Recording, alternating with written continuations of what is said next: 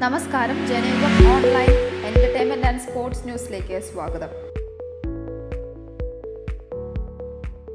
W C സിയിൽ എന്തുകൊണ്ട് സജീവമല്ല എന്ന ചോദ്യത്തിന് ഉത്തരവുമായി മഞ്ജു വാര്യർ രംഗത്ത്. അമ്മയിൽ നിന്ന് രാജിവെച്ച നടിമാർ സംഘടനയുടെ ഭരണഘടനയിൽ തിരുത്തൽ ആവശ്യപ്പെട്ട വേദികളിലും മഞ്ജുവിന്റെ അസാന്നിധ്യം ഉണ്ടായിരുന്നല്ലോ എന്ന ചോദ്യത്തിനുള്ള മറുപടി ഇങ്ങനെയായിരുന്നു. എനിക്ക് എല്ലാ കാര്യങ്ങളിലും സ്വതന്ത്രമായ വ്യക്തമായ നിലപാടുകളും അഭിപ്രായങ്ങളുമുണ്ട്. അതുകൊണ്ട് തന്നെ ആവശ്യമുള്ള ഘട്ടങ്ങളിലെ ഞാൻ അഭിപ്രായം പറയാറുള്ളൂ.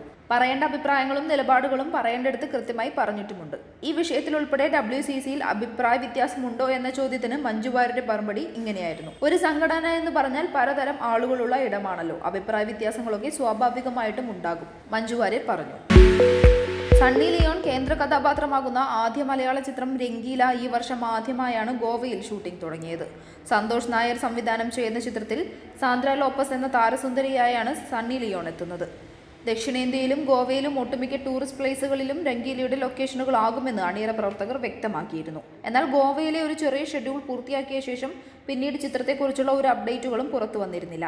നിലവിൽ ചിത്രം മുന്നോട്ട് പോകില്ലെന്ന സ്ഥിതിയിലാണ് ഉള്ളതെന്നാണ് വിവരം. ഇതിനു മുൻപ് വീർമാദേവി എന്ന പേരിൽ നാലു തെന്നിന്ത്യൻ ഭാഷകളിലായി ആസൂത്രണം ചെയ്ത ഒരു പ്രൊജക്റ്റിലും സണ്ണി ലിയോൺ ഭാഗമായിരുന്നു. ഈ ചിത്രത്തിന്റെ ഫസ്റ്റ് ലുക്ക് പുറത്തിറങ്ങുകയും ഷൂട്ടിംഗ് വലിയ അളവിൽ മുന്നോട്ട് പോവുകയും ചെയ്തെങ്കിലും പൂർത്തിയാക്കാനായിട്ടില്ല. സൗത്ത് ഇന്ത്യയിലെ നടന്മാരുടെ പ്രതിഫലത്തിന്റെ പട്ടിക പുറത്തുവിട്ടിരിക്കുകയാണ് പ്രശസ്ത ഫാഷൻ സിനിമ മാഗസിനായ ഫോപ്സ് ഇന്ത്യ. ഫോപ്സ് ലിസ്റ്റിൽ പതിമൂന്നാം സ്ഥാനത്തുള്ള സൂപ്പർ സ്റ്റാർ രജനീകാന്താണ് ഈ ലിസ്റ്റിൽ സൗത്ത് ഇന്ത്യയിൽ ഏറ്റവും മുന്നിലുള്ള താരം. നൂറ് കോടി രൂപയാണ് രണ്ടായിരത്തി പത്തൊമ്പതിൽ അദ്ദേഹത്തിന്റെ വരുമാനം. ഫോബ്സ് ലിസ്റ്റിൽ ഇരുപത്തിയേഴാം സ്ഥാനത്തുള്ള കംപ്ലീറ്റ് ആക്ടർ മോഹൻലാലാണ് സൗത്ത് ഇന്ത്യയിൽ നിന്നുമുള്ള രണ്ടാമത്തെ താരം. അറുപത്തിയഞ്ച് കോടിയോളമാണ് രണ്ടായിരത്തി പത്തൊമ്പതിൽ മോഹൻലാൽ നേടിയത്. ഫോബ്സ് ലിസ്റ്റിൽ അൻപത്തിരണ്ടാം സ്ഥാനത്തുള്ള അജിത്താണ് ഈ ലിസ്റ്റിൽ മൂന്നാമത്തെ സ്ഥാനത്ത്. നാൽപ്പത് കോടി രൂപയാണ് തല അജിത്തിന്റെ ഈ വർഷത്തെ വരുമാനം. ഫോബ്സ് ലിസ്റ്റിൽ നാൽപ്പത്തി ഒന്നാം സ്ഥാനത്തുള്ള ബാഹുബലി താരം പ്രഭാസിന്റെ വാർഷിക വരുമാനം മുപ്പത്തി അഞ്ച് കോടി രൂപയാണ്. ഈ ലിസ്റ്റിൽ നാലാം സ്ഥാനമാണ് അദ്ദേഹം അലങ്കരിക്കുന്നത്. ഫോബ്സ് ലിസ്റ്റിൽ അൻപത്തിനാലാം സ്ഥാനത്തുള്ള തെലുങ്ക് സൂപ്പർ സ്റ്റാർ മഹേഷ് ബാബു ഈ ലിസ്റ്റിൽ അഞ്ചാം സ്ഥാനത്താണ്. മുപ്പത്തിയഞ്ച് കോടി രൂപയാണ് മഹേഷ് ബാബുവിന്റെയും വാർഷിക വരുമാനം. മുപ്പത്തിനാല് കോടിയോളം രൂപ വാർഷിക വരുമാനവുമായി ഉലകനായകൻ കമൽഹാസൻ ഈ ലിസ്റ്റിൽ ആറാം സ്ഥാനത്തെത്തിയപ്പോൾ ഫോബ്സ് ലിസ്റ്റിൽ അദ്ദേഹത്തിന് അമ്പത്തിയാറാം റാങ്കാണ്. മുപ്പത്തിമൂന്നര കോടി രൂപ വാർഷിക വരുമാനം നേടി മെഗാസ്റ്റാർ മമ്മൂട്ടി ഏഴാം സ്ഥാനത്ത് വന്നിട്ടുണ്ട്. ഫോബ്സ് ലിസ്റ്റിൽ അറുപത്തിരണ്ടാം സ്ഥാനത്താണ് മമ്മൂട്ടി. മുപ്പത്തിരണ്ട് കോടിയോളം രൂപ നേടി തമിഴ് നടൻ ധനുഷ് എട്ടാമതെത്തി. ഫോബ്സ് ലിസ്റ്റിൽ അറുപത്തിനാലാണ് ധനുഷിന്റെ സ്ഥാനം.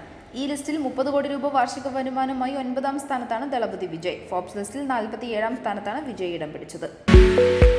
ബംഗ്ലാദേശ് സംഘടിപ്പിക്കുന്ന ഏഷ്യ ഇലവൻ ലോക ഇലവൻ പോരിൽ പാക് കളിക്കാർ ഉണ്ടാകില്ലെന്ന് B C C I. Asia ഇലവനിൽ പാകിസ്ഥാൻ കളിക്കാരെ ഉൾപ്പെടുത്തില്ലെന്ന് വ്യക്തമാക്കുകയാണ് B C C I joint secretary Jayesh George. Sheikh Mujibur റഹ്മാന്റെ നൂറാം ജന്മദിനം ആഘോഷിക്കുന്നതിന്റെ ഭാഗമായാണ് Bangladesh cricket board Asia eleven ലോക ഇലവൻ ട്വന്റി ട്വന്റി പോര് സംഘടിപ്പിക്കുന്നത്. ഇതിന് ഐ സി സിയുടെ അംഗീകാരം ലഭിച്ചു കഴിഞ്ഞു. ഏഷ്യ ഇലവനിൽ ഇന്ത്യൻ കളിക്കാർക്കൊപ്പം പാക് താരങ്ങൾ കളിക്കുമോ എന്ന ചോദ്യമാണ് ഇതിനിടയിൽ ഉയർന്നത്.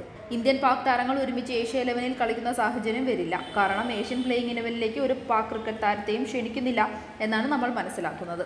ഇരു ടീം അംഗങ്ങളും ഒരുമിച്ച് കളിക്കില്ല. ഏഷ്യ ഇലവന് വേണ്ടി കളിക്കുന്ന അഞ്ച് ഇന്ത്യൻ താരങ്ങളെ ഗാംഗുലി തിരഞ്ഞെടുക്കുമെന്നും വാർത്താ ഏജൻസിയായ ഐ എ എൻ എ സിയോട് ജയേഷ് ജോർജ് പറഞ്ഞു. കൂടുതൽ എന്റർടൈൻമെന്റ് ആൻഡ് സ്പോർട്സ് വാർത്തകൾക്കായി ജനകം ഓൺലൈൻ സന്ദർശിക്കുക.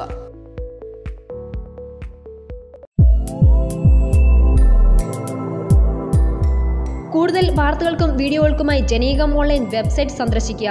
ഒപ്പം like share and subscribe ജനീകം online Facebook and YouTube channel